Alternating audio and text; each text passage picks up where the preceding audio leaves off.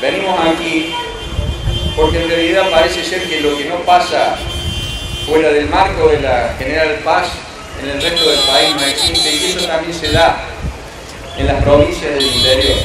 Lo que pasa de la circunvalación para afuera parece que no tiene el impacto necesario como para poder llegar a los grandes medios de opinión.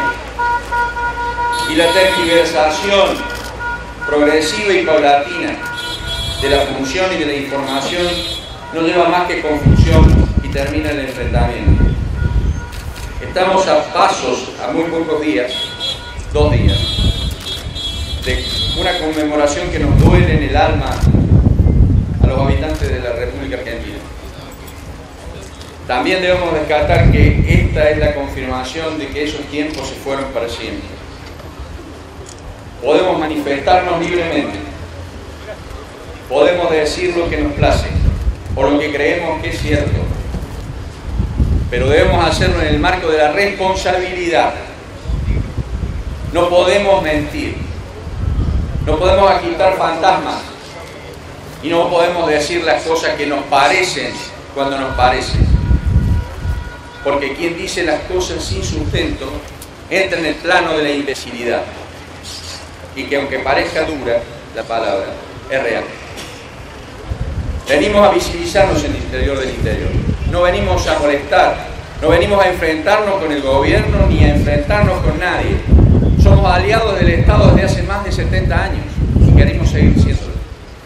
Seguramente que cuando vean camionetas nuevas mañana van a decir el símbolo de la opulencia. No, eso es inversión genuina y nacional. Esto es inversión genuina y nacional. Esto está para dar servicio eficiente. Es muy difícil que en una cooperativa un servicio público esté cortado por días. Eso no existe. Y por último, venimos a decirle, no somos responsables de la situación de la que nos hacen responsables. No podemos modificar el costo de la energía eléctrica solos. Y personalmente se lo debo decir, yo no creo que se pueda modificar el costo de la energía eléctrica. Entonces, a partir de esa realidad, venimos a trabajar todos juntos para transformar al servicio público eléctrico del interior de la provincia de Córdoba en un servicio que sea eficiente, justo y con las tarifas necesarias como para alcanzar ese servicio justo en todo el ámbito del interior. No estamos hablando de un servicio cualquiera, estamos hablando del servicio eléctrico, el que le da desarrollo económico, social e intelectual al interior del interior. Y creemos que durante 70 años venimos haciendo bien las cosas y las podemos seguir haciendo. Pero no queremos ser el pato de la boda. No somos responsables del, del precio de la energía eléctrica. De cada 100 pesos que tiene una factura de energía eléctrica, entre 40 y 50 pesos son impuestos. Los impuestos no quedan en las cajas de las cooperativas.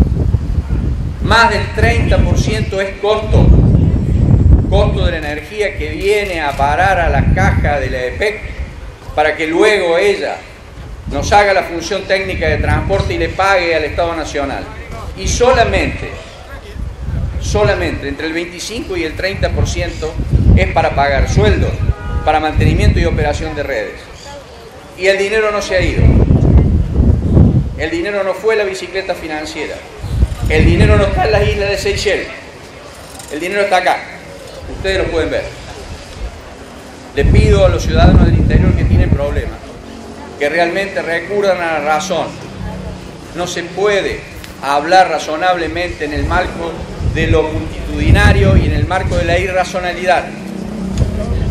Si hay problemas, tratemos de solucionarlo dentro de las mismas cooperativas y ayúdennos para que esto que mostramos hoy sea realmente el puntapié inicial que nos lleve a tener un sistema de distribución de energía eléctrica en toda la provincia de Córdoba con tarifas justas y con tarifas en lo posible única u homogénea. Estamos trabajando en eso.